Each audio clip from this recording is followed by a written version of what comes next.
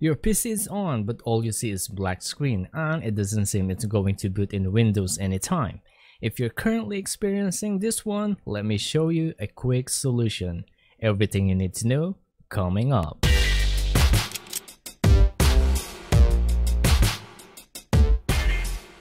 Hey what's up guys it's Mac here and we do a lot of tech related videos like this one. If this is your first time consider subscribing. With that said let's begin. Now before we start, let me remind you that this troubleshooting tutorial is only for PC that has a black screen only after pressing the power button even though the PC is running. If your monitor shows the no signal sign like this, then we got a different fix for that. Just check out the top right side corner of your screen to check that out. Anyway, there are only two reasons why after pressing the power button and your PC doesn't boot to Windows desktop but instead you only see black screen. Well, that's because of a hardware or software issue. So the question is how do we know which is which that caused the problem, hardware or software?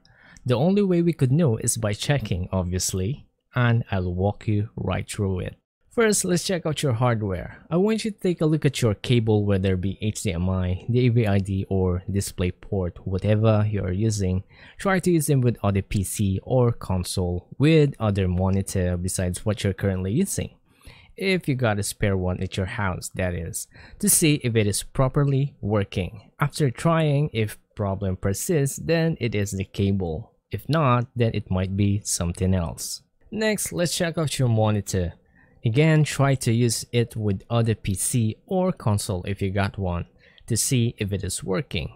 If problem persists, then it is the monitor. If not, then again, it might be something else. Next, let's check out your drives. And yes, your hard drive or SSD or M.2 could also be the reason for this issue. Though it is very rare for SSD or M.2, but happens often on hard drives, especially if it is really old.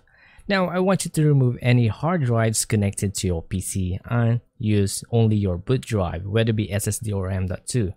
Then power on your PC. If your PC boots properly and you were able to go to Windows Desktop, then the hard drive you remove is already faulty. Some of you may ask, what if my hard drive is also my boot drive? What do I do? Well, you'll be needing a spare drive just to check that out.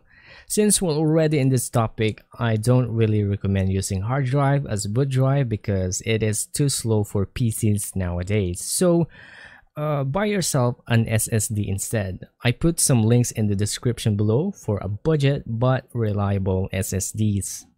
Anyway, if you already got a spare drive, I want you to unplug the current hard drive, which is your boot drive, and place the spare one.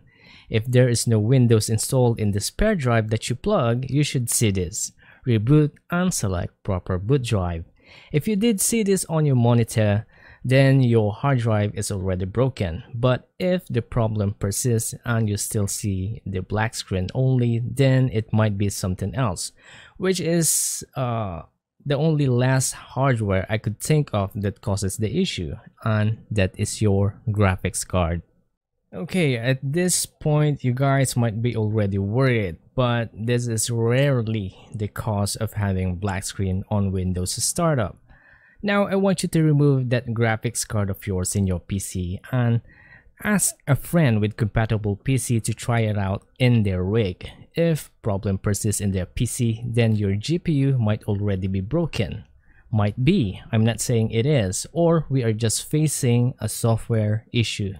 Now when I say software issue, this could be and usually is the graphics driver.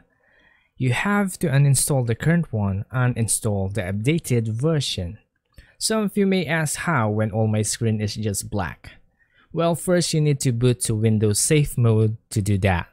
If you don't really have any important files in your boot drive, I think having a clean reinstallation of Windows 10 will also do the trick. But if you have important files and you are really desperate, just do the next step at your own risk. To boot to safe mode, you need to try to interrupt the normal boot process three consecutive times. While it is booting, use the reset button or long press the power button to interrupt the boot process. Then press the power button again to turn it on. When Windows enter the automatic repair mode on the fourth or third time, just wait for it to load. When the automatic repair option will appear, just click Advanced option or Advanced repair option. Then choose Troubleshoot, then Advanced option, then Startup settings, then click Restart. After it restarted, you'll see the startup settings like this.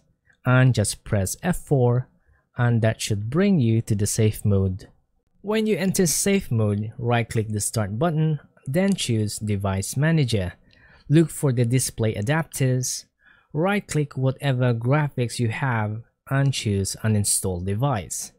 Check the box, delete driver software for the device, then click uninstall. After uninstalling the driver, you will be asked to restart your PC, then just click yes. This will restart your PC normally and you will no longer boot into safe mode. When you got into desktop, just install the latest graphics driver and you are good to go. So I hope this video helped you fix your PC problem, but if it does, please share us your experience in the comment section below. If you also got any more questions, I'll do my best to answer them all. Again, just write them down in the comments below. So that's it guys, if you found this video interesting and helpful, make sure to give us a thumbs up and share it. Thanks for watching and we'll see you in the next one.